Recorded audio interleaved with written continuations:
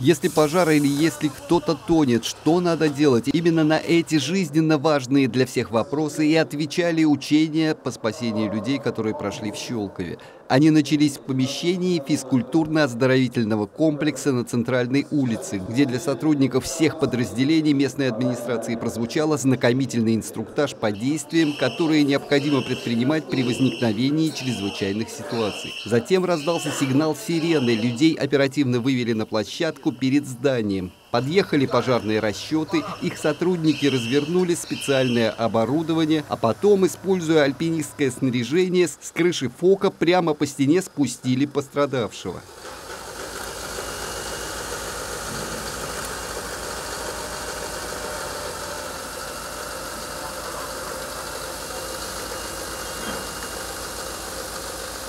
Далее из окна здания с помощью автовышки пожарные помогли выбраться оставшемуся в помещении человеку.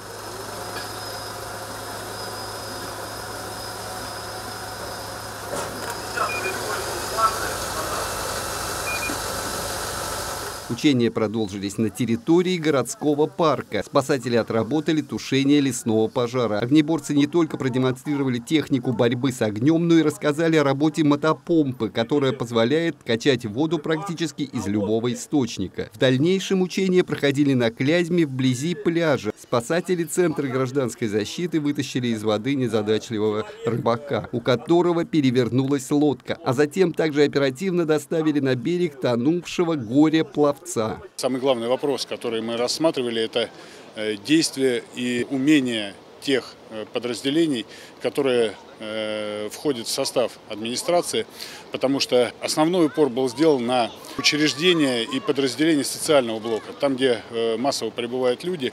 И, естественно, для руководителей, для их заместителей по безопасности данное учение, я думаю, показало, какие действия необходимо принимать при чрезвычайных ситуациях. Андрей Цеханович, Игорь Поляков, телерадиокомпания «Щелково».